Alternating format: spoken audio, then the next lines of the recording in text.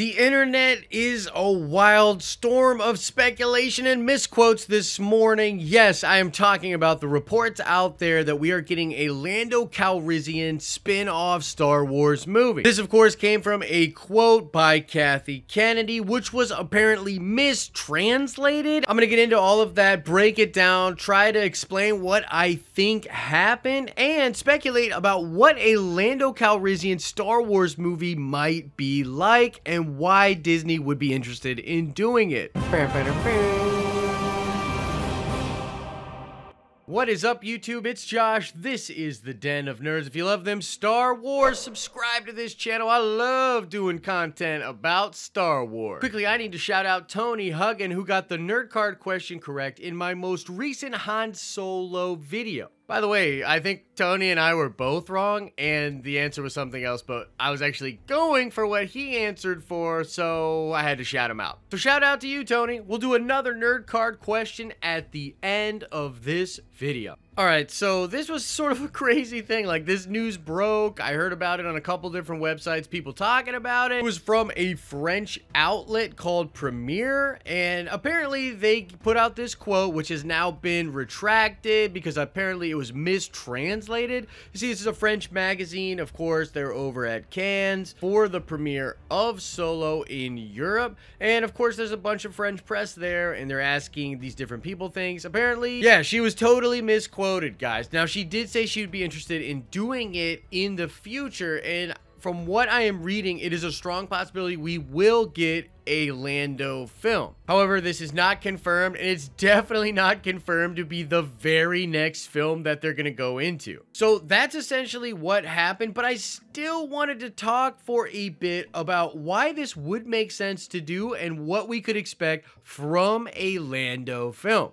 Now, I don't know this to be sure, but I believe that like this might have been in a series of questions about Lando and Donald Glover's performance in Solo, which is being praised by reviewers and critics as a very, very good part of the movie. And that's to be expected. I mean, Donald Glover is awesome. I mean, he arguably had way less pressure on him not being the lead in this film, so he was just able to just kind of kick back and do his thing. And I mean, I'm I'm hearing it's amazing. I haven't seen the film yet as of this recording but I'm hearing that, yeah, that performance is just on another level, which honestly doesn't surprise me at all. Donald Glover's the man. Now, the natural question to ask next is, do we need a film like this? How will the fan base take this? Are they going to be into it? Are they going to be not into it? And I would say on the surface, this feels very similar to the Han Solo movie itself, meaning this is not something I think a lot of fans will get pumped about. It's sort of like, hey, let's go back to the nostalgic characters. Remember Han Solo? Remember Lando Calrissian? Oh, I remember. Which, by the way, weird thing to complain about on a 40-year-old franchise that literally just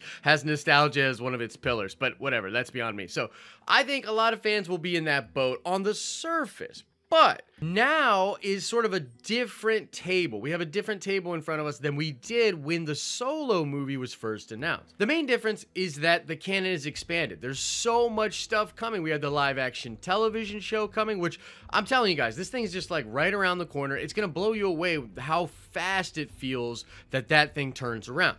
We're also getting the new animated series. The comics show no sign of stopping. You've got episode 9 coming, and then the Rian Johnson trilogy and the Dan and Dave series of films. I think the majority of those things I just mentioned are actually going into new places, or at least places we haven't explored yet.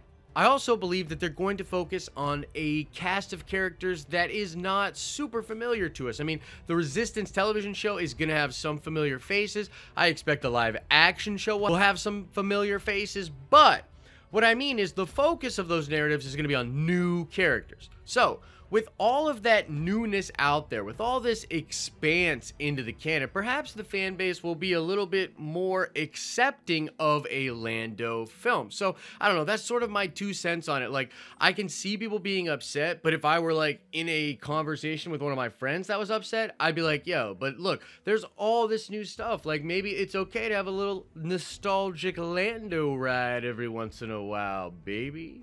That's I don't know, it's my best Billy Dee. Sorry. A couple of other points here. I think that it could address the diversity problem, and not just because I believe Donald Glover would star in it. Perhaps they'd allow him to have some creative control. I mean, he's a hell of a writer. It would be awesome to see him get some credit and do some work there. And, and check this out. This just popped into my head the young Kasdan co-writing this thing with Donald Glover. I don't know, internet. You tell me what you think. I get a little pumped about that.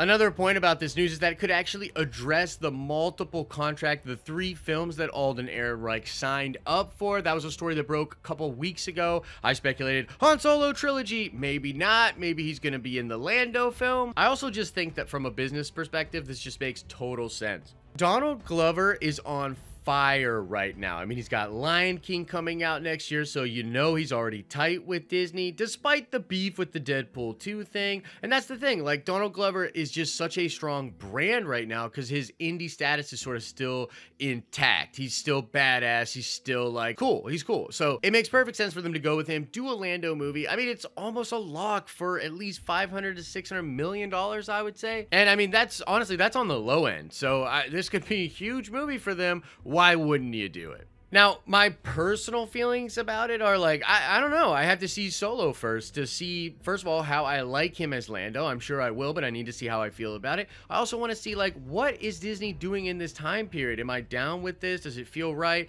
Does it feel like it's sort of intruding on my memories of these characters from the original film? So I need to see that film before I can sort out my feelings. But I will say this my favorite new canon comic book is actually the Lando series. I mean, part of that is because I read the whole thing in Billy Dee's voice, which is just always a ton of fun.